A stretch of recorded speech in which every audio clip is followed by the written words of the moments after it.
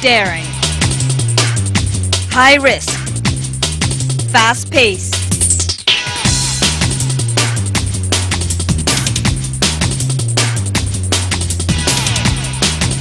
It's parkour, it's hardcore, and it's happening in Chennai. Scaling the sides of buildings, balancing on railings, flying over walls, parkour has it all. Now you're gonna get some first-hand experience with this death-defying workout today, and so is my dear victim.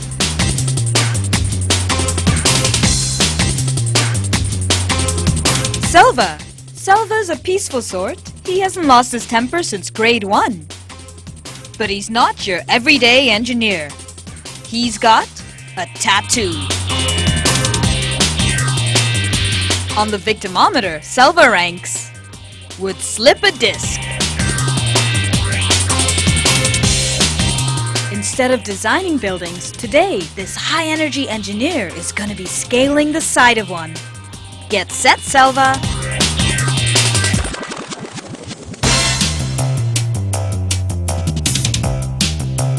Parkour, or l'art du déplacement, the art of moving, originated in France and involves crossing obstacles in the fastest, smoothest, most efficient way possible, as one would in an emergency or crisis. It entails moves specific to parkour, as well as jumping and climbing techniques.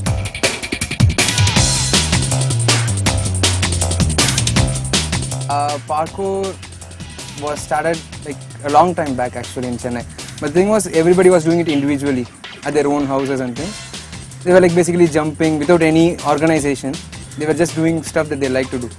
And after a few days, you know, through internet and things, now through Orkut, people came to know that there are others who were like doing the same thing. And then we got interested through YouTube, you know, where people were actually organized it, the exercises, the moves, everything was broken down, and we started practicing in a much organized way. We formed a community in Orkut, and we got in touch with that, and then we got a few people who were like created website, and we got touch in that, and uh, you know, then it's just mushroom.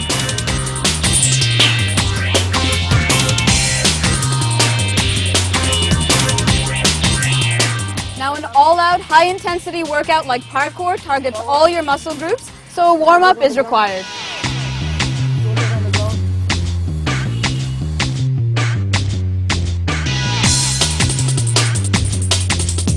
So the boys led us through a warm up involving jogging and stretches to limber up the body.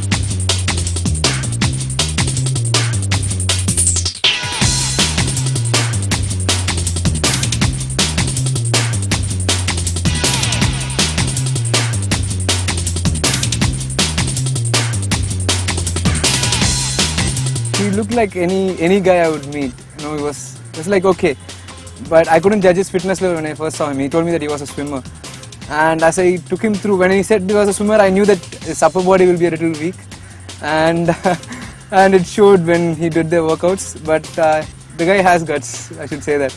You know, he we went through the things. I've seen a lot of people who actually want to do parkour give up. This guy just wanted to do it and he did it.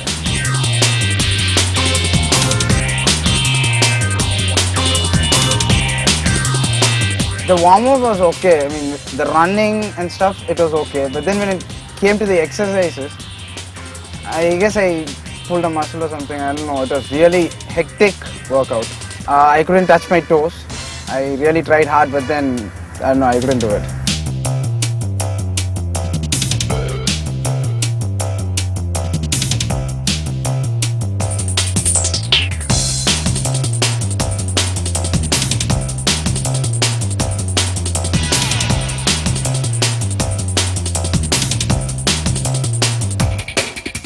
Parkour practitioner is called a traceur or a traceuse if you're a girl. Now there are certain movements specific to parkour that all these lovely boys over here are going to help us get a handle on. So ladies and gentlemen, get ready to vault and roll!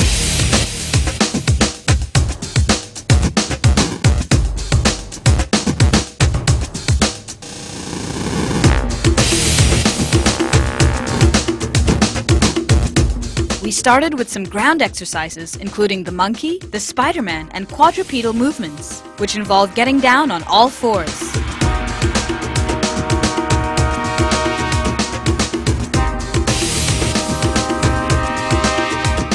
ground exercises in parkour that we do work out the entire body. normally what people do is they work out their upper body, you know, or their biceps or whatever it is. The push-ups just work out your chest muscles. The upside down handstands, they work out your shoulder muscles. But in parkour, what we emphasize on is the core strength and working out the, all the muscle groups in the body. The quadrupedal that we did, it will work out your shoulders, your thighs, your calf muscles, your core, everything. The Spider-Man that we do, it will work out your abs, your chest, your neck, everything gets worked out in these exercises. That's why they are specialized for parkour. Because most of the moves that we do involve all the muscles in the entire body.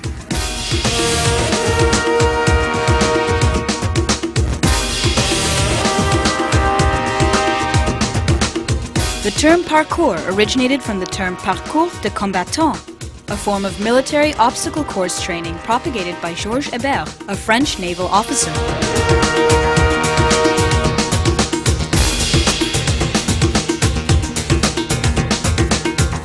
I think I flipped a few moments. I didn't, I mean, I did it okay, not the exact thing, but then it was, and I've never experienced such hectic workout in my entire life, I guess you'll have to be here to experience it.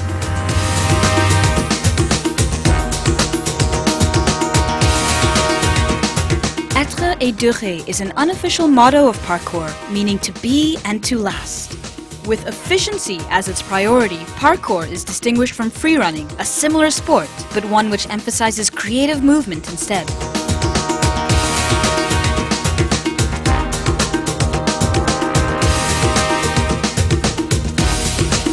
Okay, so my victim and I seem to be moving towards the right direction.